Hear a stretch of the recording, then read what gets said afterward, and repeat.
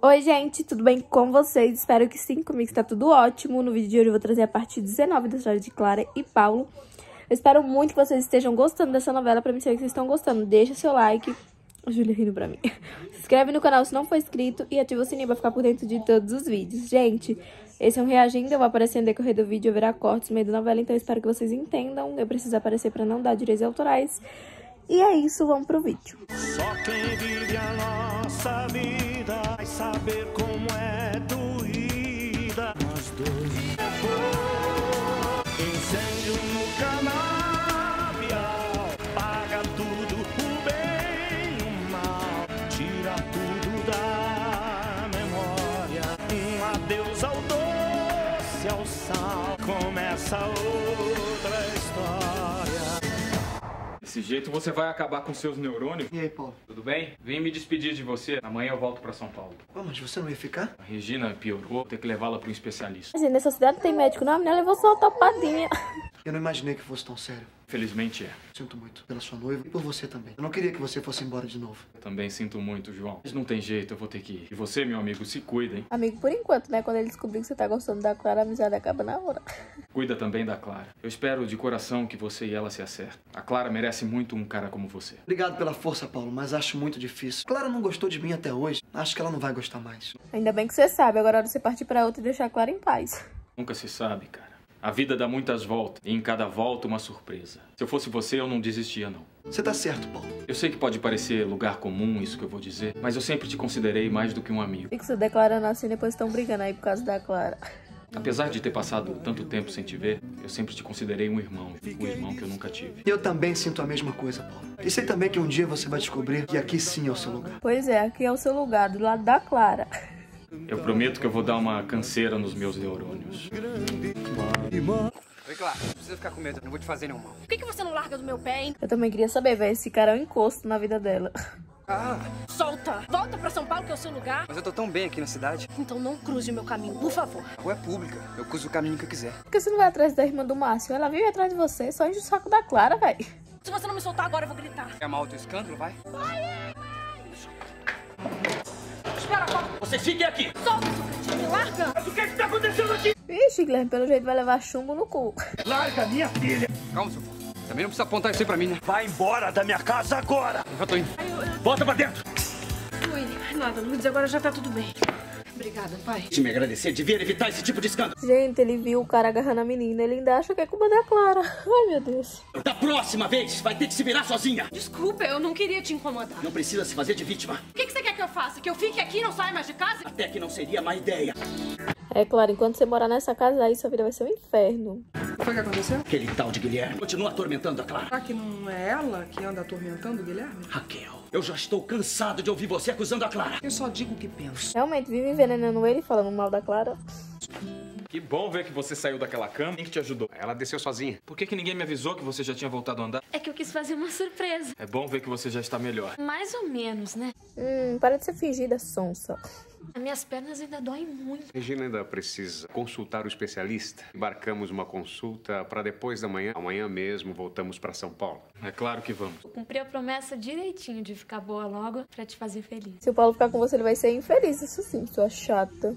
Não ficou feliz que teu pai te defendeu? Isso quer dizer que ele se preocupa com você. Até parece, né, Lourdes? Não viu o que, que ele me falou depois? Acha que eu fui a culpada, que eu provoquei o Guilherme. Pai não confia nem um pouco em mim. Se você cairá fora dessa casa, ele nem de você gosta. Pensando bem, dá pra entender porque ele é assim tão desconfiado. Depois do que aconteceu com a tua mãe, né? Você também acha que ela traiu meu pai com o seu amador? Claro que não. Eu não penso mal da dona Débora. Muito pelo contrário, pra mim ela era uma santa. Pois é, esses anos todos falando mal da coitada e ela é inocente. É que do jeito que as coisas aconteceram, ficou parecendo que foi. E o pior é que eu não tenho como provar que ela não traiu meu pai. Mas o que importa é que, é que eu acredito nela. Para de pensar nisso. Você acaba ficando triste. A vida dela é uma tristeza, coitada. Não sei como é que ela aguenta. A dona Remédios diz que a verdade sempre aparece. E eu tenho esperança que a verdade da minha mãe ainda vai aparecer. E a dona Remédios sabe o que fala. Não sei porquê, Lourdes, mas eu tenho a sensação de que a dona Remédios sabe de alguma coisa que não quer me contar. Ela sabe tanta coisa há tantos anos, não sei por que ela não contou ainda. Mãe? o que aconteceu? Tava tomando um copo d'água, imagina, escorregou da minha mão. O que houve? É essa minha pressão. Ai, mas eu prometo pra você que amanhã de manhã a mãe vai estar bem melhor. Que pressão, mulher. Você tem que ser internada. Jogar um copo assim do nada. A senhora já soube que a Regina tá andando? Que tô contente. Eu também. Tirou um peso de cima de mim, mãe. Mesmo assim, o Carlos acha que devemos voltar pra São Paulo. A Regina deve fazer alguns exames mais completos. Ai, gente, exame pra quê? A mulher levou uma topada, só tá doendo o dedinho.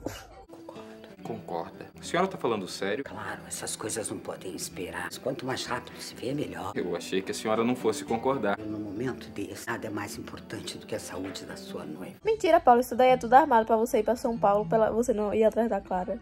É claro. Boa noite, mãe. Eu não ia te contar. Do que, que o senhor tá falando? Eu fui falar com o Paulo, possibilidade de assinarmos um contrato com a usina Jaco. Por que, que o senhor fez isso? Mulher, porque você não tem onde cair morta e a única solução é essa.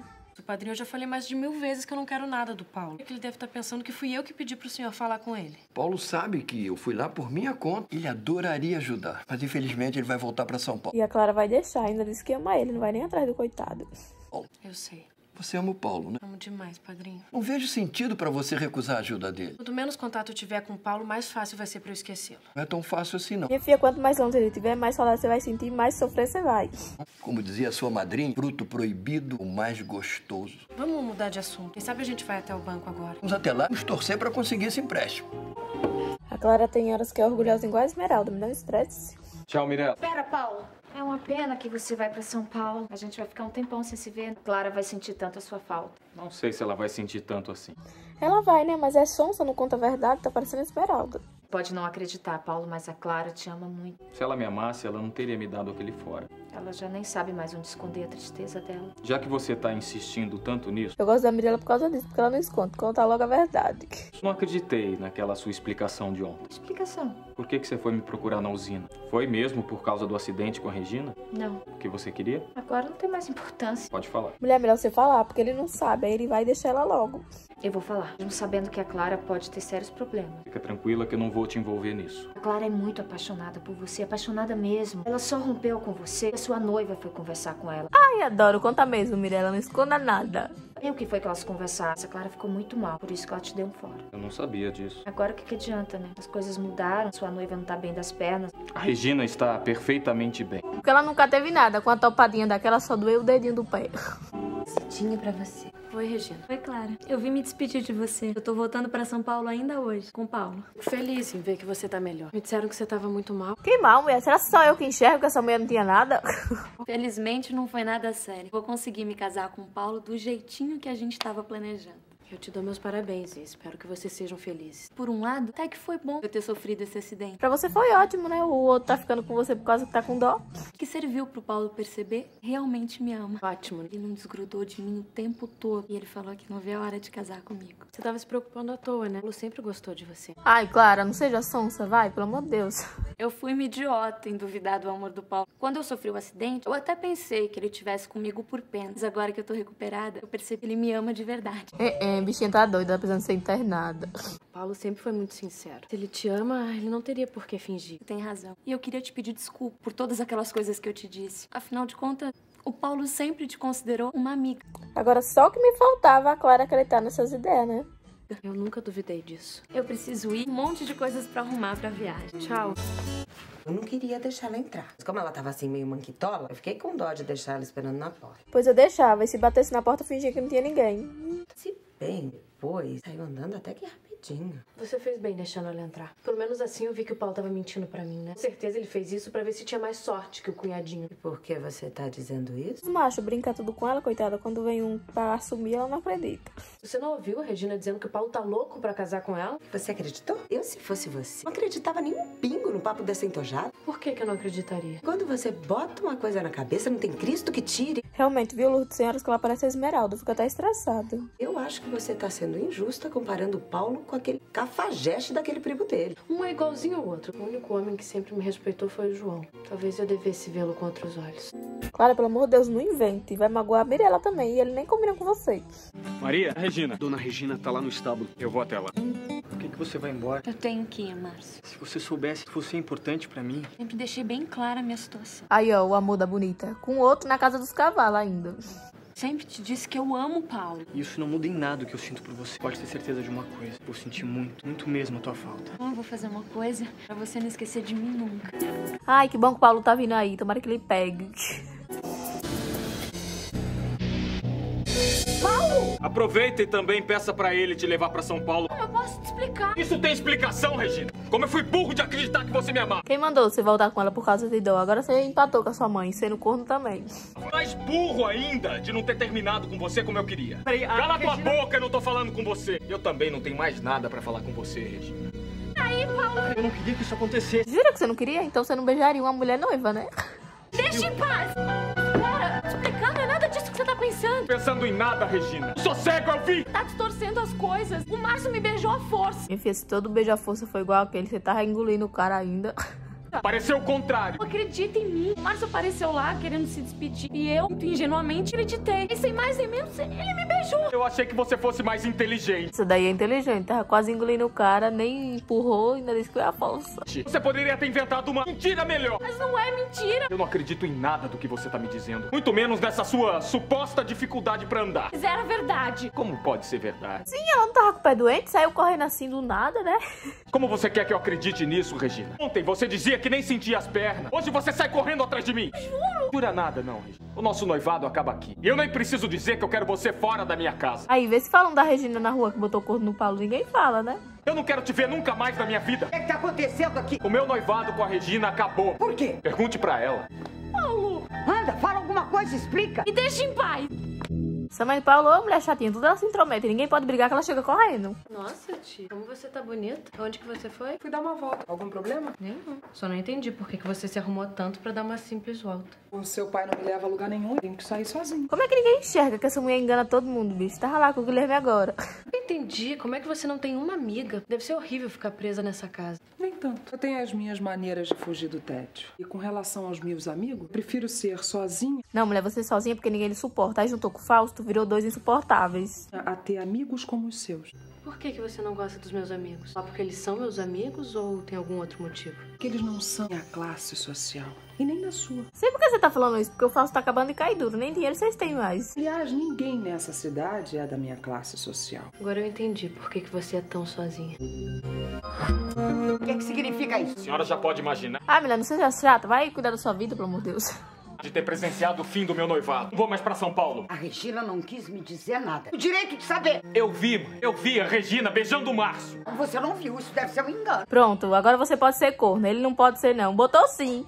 A senhora Regina deve achar que eu sou cego ou um retardado mental. E até duvido que a senhora já não soubesse o que tava rolando entre os dois. Eu não sabia, não tô entendendo por que que você tá me acusando desse absurdo. Absurdo que, mulher? Até mais cobra que ela. Olha, eu não consigo gostar dessa mulher. A senhora já foi cúmplice da Regina em muitas coisas. Como, por exemplo, na suposta invalidez. Não sei do que você tá falando. Você não sabe porque você é sonsa. Hoje eu fui falar com o Dr. Alexandre. E sabe o que ele me disse? Que a senhora levou as radiografias da Regina, ortopedista, em Terra Branca. Não falei que as duas estavam sendo cúmplice? Hum. Levei mesmo. E esse doutor me disse, examinando, não via motivo nenhum para que a Regina não andasse. E a Regina dizia que não podia se mexer. Por que, que a senhora não me contou nada? Meu filho, ela tá doida pra lhe mandar pra São Paulo. Você acha mesmo que ela ia contar? Simples, meu filho. Eu queria que você se aborrecesse com a sua noiva. E principalmente, eu não queria que você achasse que eu estava fazendo isso para reter você A aqui. senhora acha que eu vou acreditar nisso? Isso aí, Paulo. Não acredito nessa cobra. Sai dessa casa, pelo amor de Deus. Sabe-se lá quantas coisas a senhora escondeu de mim. Você vai me transformar na culpada das coisas que acontecem entre você e a Regina. Só quero que a senhora saiba de uma coisa. Eu não confio em mais ninguém, nem na senhora.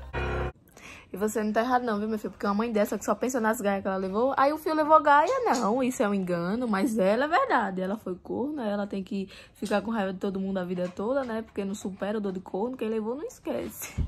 Mas enfim, né? Mas o fio não. O fio tem que ser corno e tem que perdoar porque é um engano. Ai, meu Deus. Eu vou ficar quieta porque eu não posso me estressar. Eu não sei se eu vou conseguir perder essa, perdoar essa mulher no final. Só se ela ficar muito boazinha e meu coração amolecer. Mas por enquanto, eu, meu ódio por ela aumenta cada vez mais. Mas é isso, gente. Moiou pra Regina, né? Vai voltar pro São Paulo sem o Paulo. Agora ele vai ficar livre pra Clara, graças a Deus. Eu espero, né, que eles fiquem juntos, porque pelo jeito vão ficar só no final da novela. Porque eu nunca vi umas coisas dessa. A outra se faz de som, igual a Esmeralda. Ai, não sei o que. Eu acho que o Paulo tá me enganando também, coitada. Todo mundo da cidade engana ela. Agora eu quero ver se realmente vão falar mal da Regina também, né? Porque a Clara não fez nada, eu acho que nunca nem beijou. Então dizendo que ela fez isso e aquilo, imagina a Regina, que deu corno no Paulo. Mas é isso, gente. Vamos terminar por aqui, né? Senão, se eu ficar falando mal da Regina e da mãe dele, eu vou ficar o dia, o dia todo aqui falando com vocês. Mas é isso. Eu espero muito que vocês tenham gostado do vídeo de hoje. Então vocês já sabem, né? Pra mim saber que vocês gostaram, vocês deixam o like. O like de vocês, gente, é muito importante no vídeo, me ajuda bastante. Então deixa seu like, se inscreve no canal se não for inscrito. Ativa o sininho pra ficar por dentro de todos os vídeos. Gente, história de Ana Francisca. Não vou postar, então eu espero que vocês me entendam. Está dando muitos direitos autorais e isso é um risco pra perder o canal rapidinho. E é isso, até o próximo vídeo. Tchau!